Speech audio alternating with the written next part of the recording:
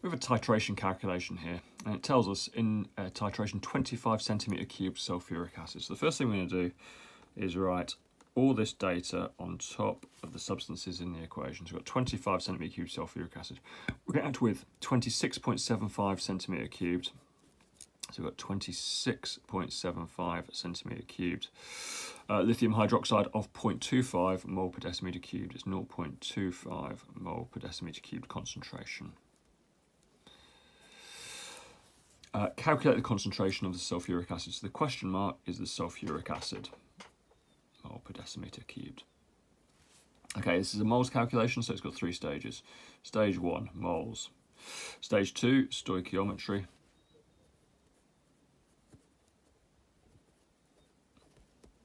And stage three, moles. Now, what's important is we know the moles equation that, in, that has uh, volume and concentration in it. Uh, that is moles equals volume divided by a thousand multiplied by concentration.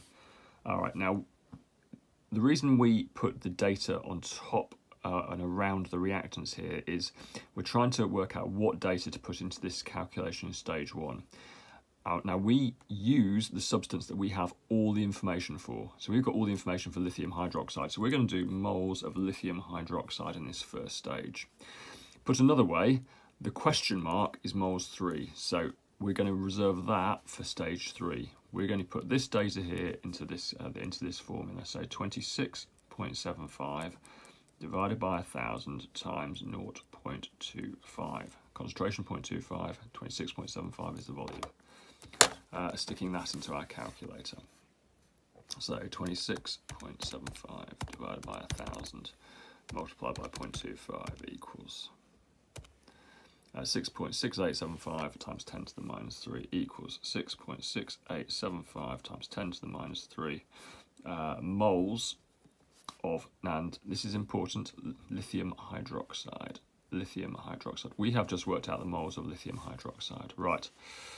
Stage 2, stoichiometry. H2SO4, we write out the part of the equation that we're interested in. We're interested in sulfuric acid reacting with lithium hydroxide. Not interested in this, we're not interested in this. We've just worked out, we've got the moles of lithium hydroxide. So let's write that under lithium hydroxide, 6.6875 times 10 to the minus 3. Now, a number before lithium hydroxide is 2. The question mark, what we're trying to find out, is underneath the sulfuric acid. So we're going from the 2 uh, to the sulfuric acid. Now, there's no number before the sulfuric acid, so there's an invisible number 1 there. It is a number 1. So we're going from the 2 to the 1. Put an arrow starting with what the moles we've got and we're going towards the question mark 2 to 1. Question, how do we get from 2 to 1? What mathematically do we have to do to 2 to turn to 1? Answer, we have to divide by 2.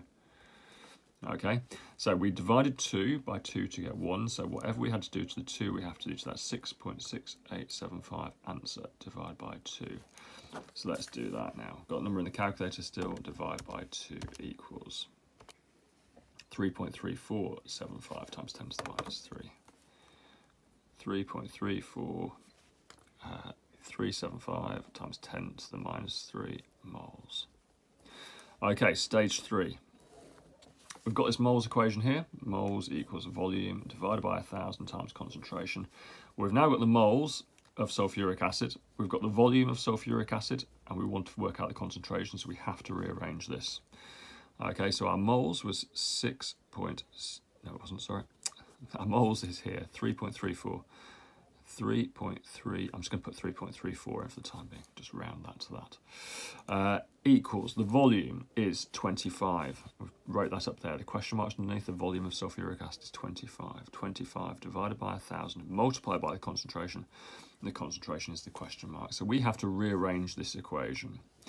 To rearrange that, the first thing I'm going to do is sort out that sum there. I'm just going to make it a little bit easier for myself to rearrange. 3.34 equals 0.025 times question mark. So I've divided 25 by 1,000 and got 0.025.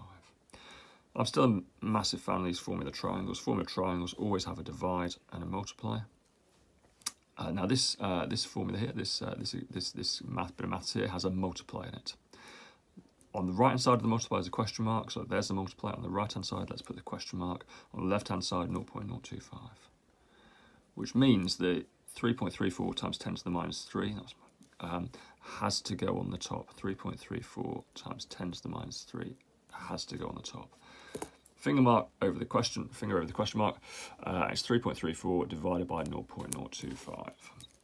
Okay, so 3.34 times 10 to the minus 3 divided by 0.025, and that is going to be our final answer. 3.34 times 10 to the minus 3 divided by now 0.025 equals,